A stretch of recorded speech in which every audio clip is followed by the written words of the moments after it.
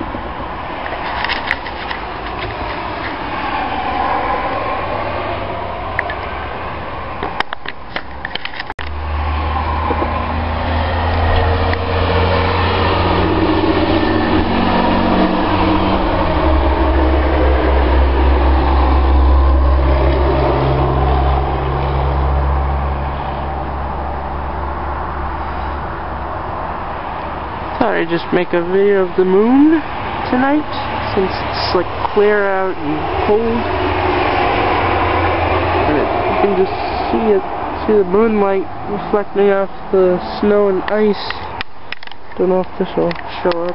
Nope.